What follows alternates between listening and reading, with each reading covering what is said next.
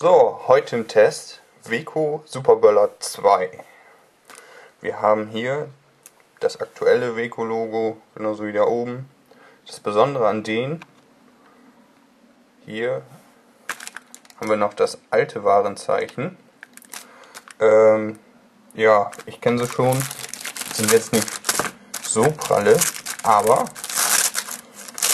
die sind oben noch zugestopft wie wir hier sehen können.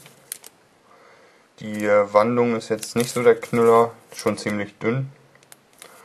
Äh, es geht hier auch mega weit rein, da komme ich gar nicht ran an die Tonerde. Also eher eigentlich China Böller D als alles andere. Naja gut, aber ihr werdet ja gleich sehen, wie diese vom Knall sind. Und dann wünsche ich euch viel Spaß bei dem Video.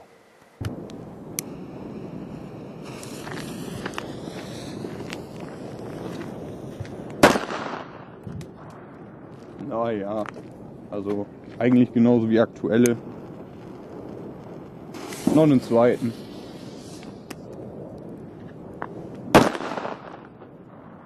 Ja, tun sich nicht viel zu aktuellen.